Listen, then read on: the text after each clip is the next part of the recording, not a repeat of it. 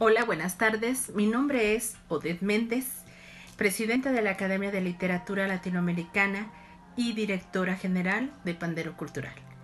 Antes que nada, quiero enviar un saludo desde el corazón a todos los que me están eh, escuchando, que me están viendo, que me regalan un poco de su tiempo, eh, para que eh, estén bien, desearles que podamos seguir adelante en la lucha contra esta contingencia de salud siendo muy positivos y siendo muy responsables estando en casa.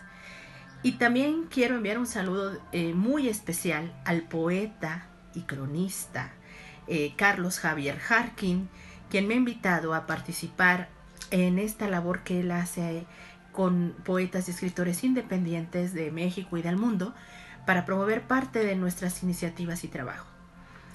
Eh, siendo yo una mujer muy luchista, y muy creyente eh, de que todo esto va a cambiar, siempre teniendo esa esperanza como una antorcha encendida que no se extinga. Eh, inicié el 21 de marzo eh, una propuesta para la comunidad literaria que se tituló Desde casa leemos poesía.